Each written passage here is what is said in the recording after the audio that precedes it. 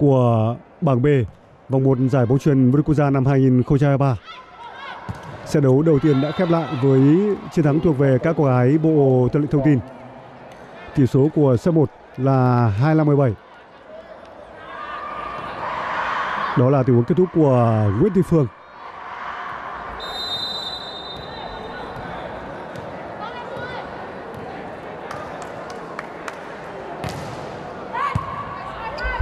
Trường một tốt.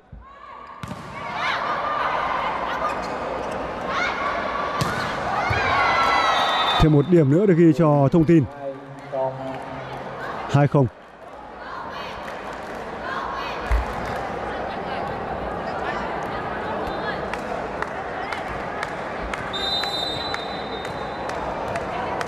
Tiếp tục là tình huống phá bóng của Nguyễn Thị Phương.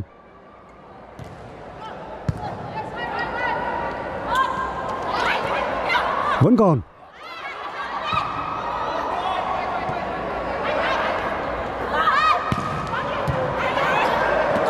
Không được Thùy Linh đã có một pha phòng thủ không tốt.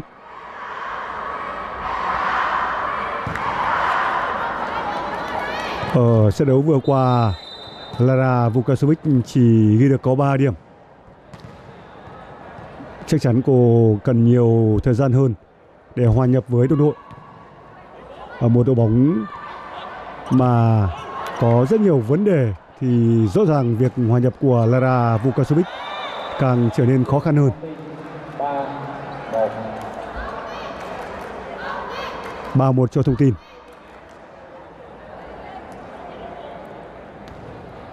Và gõ bóng lòng tay của Kiều Trinh.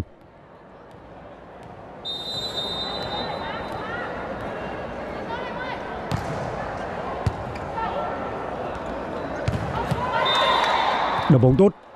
Tình huống kết thúc của Bùi Thị Nga. hai đối thủ đầu tiên được coi là khá vừa tầm với Thanh Hóa, đó là thành phố Hồ Chí Minh và Bình Điền Long An. Nhưng đó lại là hai trận đấu mà Thanh Hóa đã chơi rất tệ. Và ghi điểm của Việt Hương.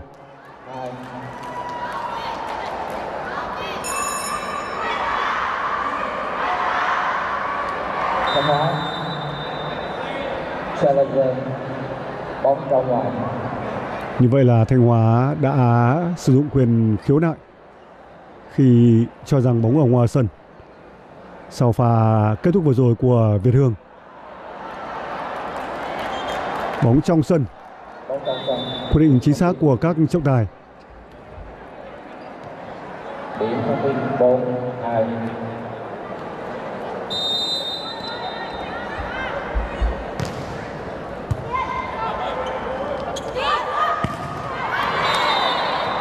Bóng đã chạm chắn thông tin ra ngoài sân. bốn 3-4 cho Hà Phú Thanh Hóa.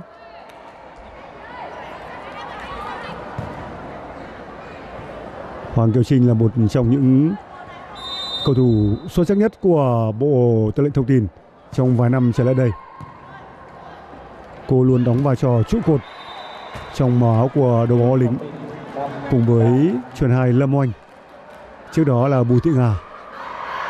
Những cầu thủ gần như không thể thay thế của Bộ Tư lệnh Thông tin.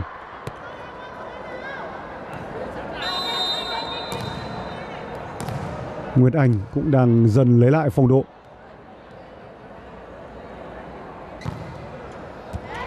Pha phá bóng tốt của Nguyệt Anh. trong mỗi một trận đấu với bất kỳ một đối thủ nào, thì Thanh Hóa đều để gãy chuyền một như thế này ít nhất từ 3 đến 4 lần.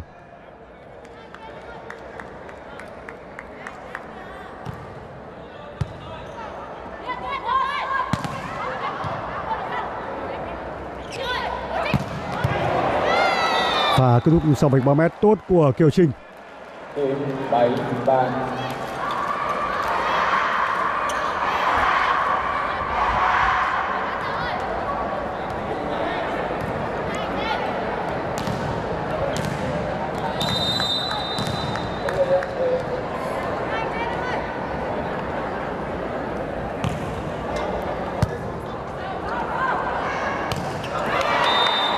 Đó là cú đánh của Trịnh Hiền vào bóng ở trong sân. bảy 4-7 cho Hà Phú, Thanh Hóa. Trận đấu đang diễn ra với chất lượng chuyên môn không cao. Một sự chênh lệch của các gái Bộ Tư lệnh Thông tin.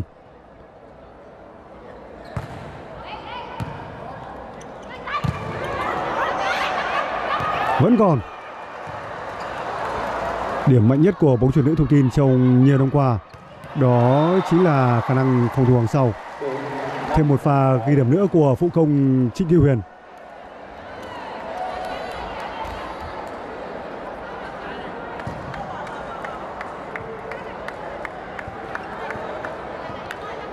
Trịnh Thị Huyền từng là trụ cột của hóa chất đưa giang tia sáng.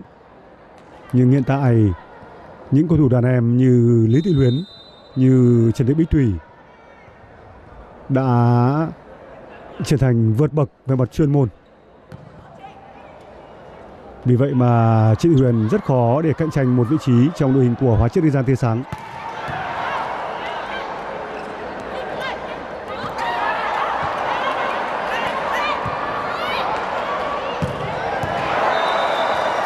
điểm thông tin ba Điểm được ghi cho Bộ Tư lệnh Thông tin sau pha kết thúc của Nguyệt Anh.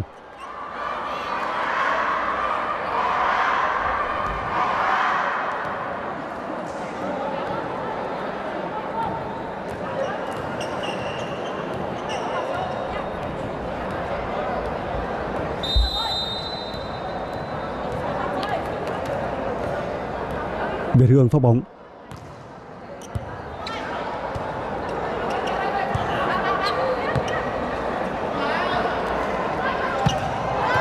Quả bóng không qua lưới. Quả đập lỗi của Nguyễn Thị Phương. Nguyễn Thị Phương sinh năm 1999 Cô cao 1m76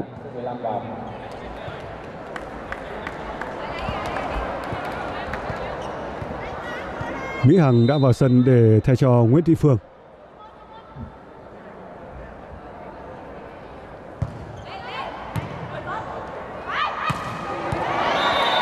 Điểm công ty trên sau. Đó là pha kết thúc của Lê Khanh. Hà Phú Thanh Hóa vẫn đang ở thế bám đuổi.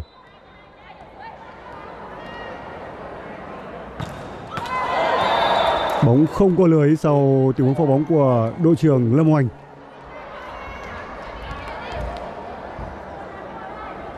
Bảy chín cho Hà Phú Thanh Hóa.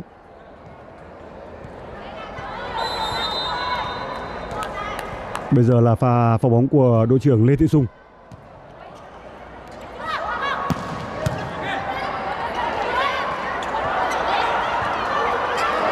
Không được mười bảy 17 cho Bộ Tư lệnh Thông tin.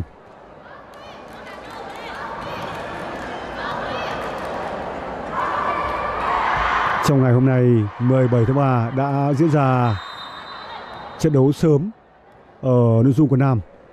Các cầu thủ biên phòng đã đánh bại vật liệu xây dựng Bình Dương với tỷ số 3-0 và chiến thắng này giúp cho biên phòng đã giành chọn 9 điểm sau 3 trận đấu và trở thành đội bóng đầu tiên của bảng B có mặt tại Cúp Hùng Vương.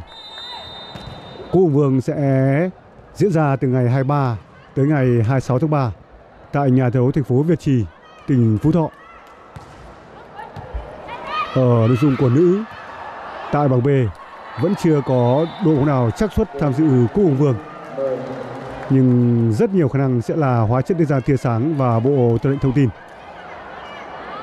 Trong đó, ở nội dung của Nam, khả năng cao là sự xuất hiện cùng với biên phòng, đó là thể công.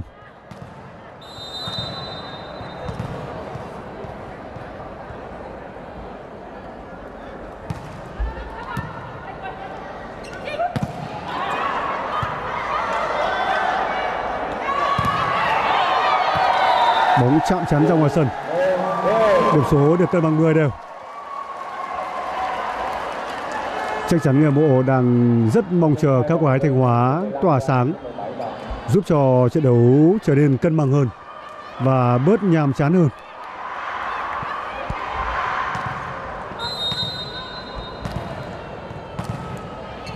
Bukasovic thực hiện quả phá bóng.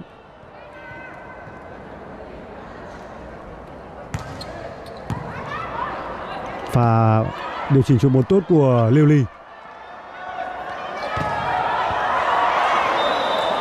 Chạm bóng thành công.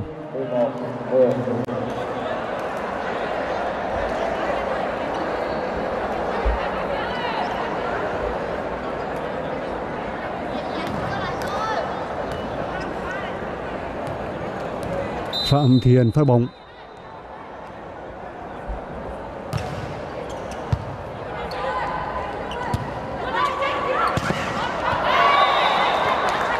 Có thêm một điểm nữa cho Bộ Tư lệnh Thông tin.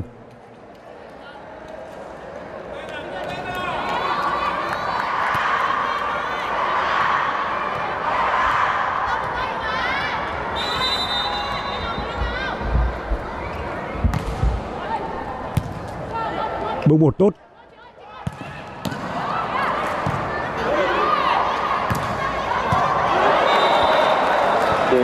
Đó là pha ghi điểm của Nguyệt Anh.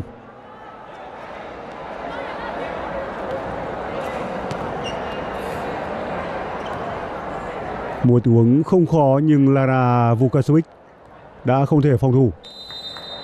Điểm yếu lớn nhất của cầu thủ người Croatia đó chính là khả năng phòng thủ hàng sau.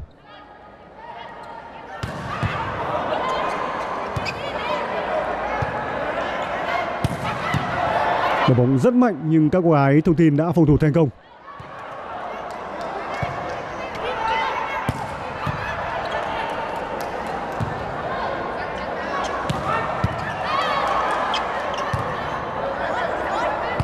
Một pha bóng răng co nhưng rất tiếc Hoàng Thị Thảo lại đánh bóng ra ngoài sân.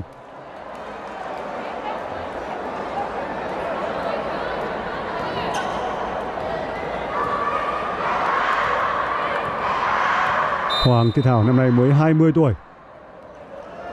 Rõ ràng quãng thời gian ngắn dẫn dắt các cô gái Thanh Hóa chưa thể giúp huấn luyện viên Thái Quang Lai có được điều mình cần. Với một huấn luyện viên để thay đổi lối chơi của một đội bóng, họ cần rất nhiều thời gian. Ông Thái Quang Lai mới chỉ trở thành huấn luyện viên trưởng của Hà Phú Thanh Hóa cách đây không lâu.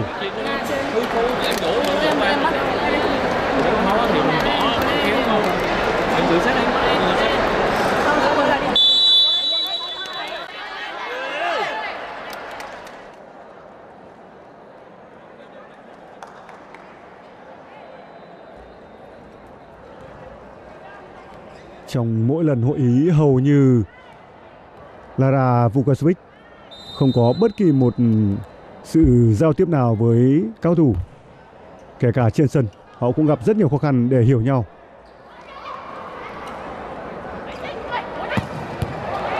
Đánh tốt của Hoàng Kiều Trinh. 16 Lara Vukasovic ừ, sở trường là chơi ở vị trí đối truyền tại các đội bóng ở châu Âu Hà Phú Thanh Hóa là đội bóng thứ bảy mà cầu thủ người Croatia khoác áo.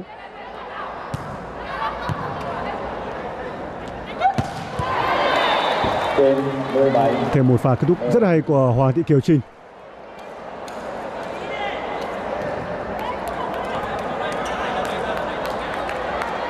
Nếu như bùng hết sức và trời quyết tâm thì Bộ Tư lệnh Thông tin không khó để vượt qua đối thủ Hà Phú Thanh Hóa, thậm chí là những tỷ số cách biệt. Xem một họ đã tạo ra cách biệt lên đến 8 điểm khi tỷ số là 25-17. Bây giờ cách biệt cũng đang là 8 điểm nghiêng về Bộ Tư lệnh Thông tin. Đội bóng giàu truyền thống bậc nhất của làng bóng chuyền nữ Việt Nam. Trong 19 mùa giải bóng chuyền chuyên nghiệp, Bộ Tư lệnh Thông tin đã vô địch đến 12 lần. Họ có 4 lần giành ngôi Á quân. Chỉ có 3 lần Bộ Tư lệnh Thông tin không thể góp mặt ở trận chung kết trong suốt 19 năm vừa qua. Trong đó có mùa giải gần nhất là mùa giải năm ngoái, khi Bộ Tư lệnh Thông tin chỉ cán đích ở vị trí thứ năm. Đội bóng quân đội ít nhiều cũng đang gặp khó khăn về mặt tài chính khi không có nhà tài trợ. Vì vậy họ chưa thể bỏ ra một số tiền để đưa về những cầu thủ ngoại chất lượng để có thể cạnh tranh song phẳng với các đối thủ đã được đầu tư như Ninh Bình Liverpool Bank như hóa chất đi Giang tia sáng. Bộ Tư lệnh Thông tin là một trong số ít đội bóng không có ngoại bình ở mùa giải năm nay. Em lấy mà hư hết thì một em ơi cố gắng tìm một tìm một cái này cũng ráng hết rồi không có nản em không có nản mỗi người cố gắng một xíu không có nản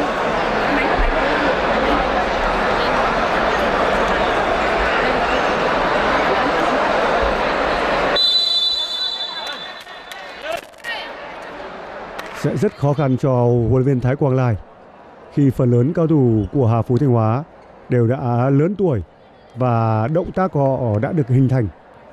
Vì vậy mà chỉnh sửa bây giờ là vô cùng khó khăn.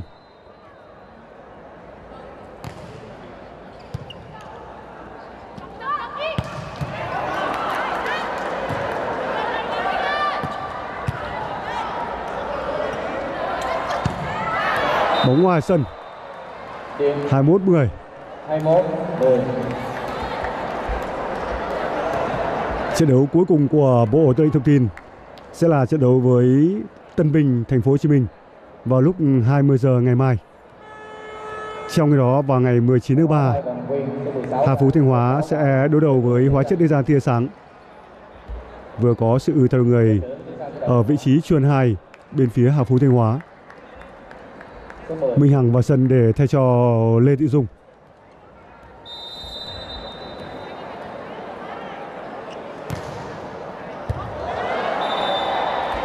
Lại là lỗi bước một.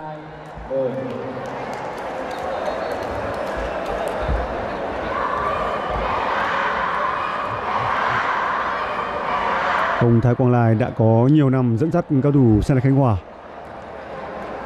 Tại SEA Games năm 2019, ông trở thành huấn luyện trưởng đội tuyển bóng chuyền nam quốc gia.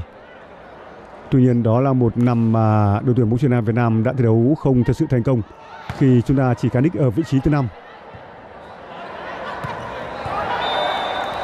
Có thêm một điểm nữa cho Bộ Tư lệnh Thông tin. 23-10. Có lẽ sẽ lúc này các cô gái thông tin còn có chiến thắng cách biệt hơn. Sẽ một họ tạo ra cách biệt là 8 điểm. Nhưng bây giờ cách biệt đang là 13 điểm.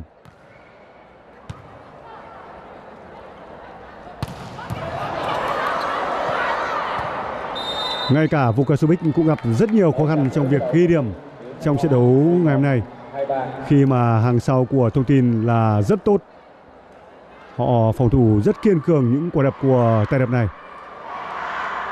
Cả phòng thủ hàng sau cũng như phòng thủ trên lưới.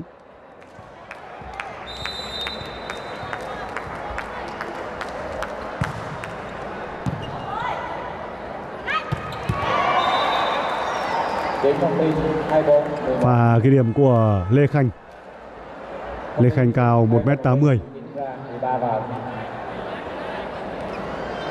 Lê Khanh năm nay mới 19 tuổi. Số 7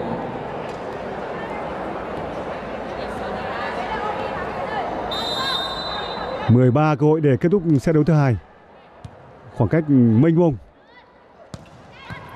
Vẫn còn.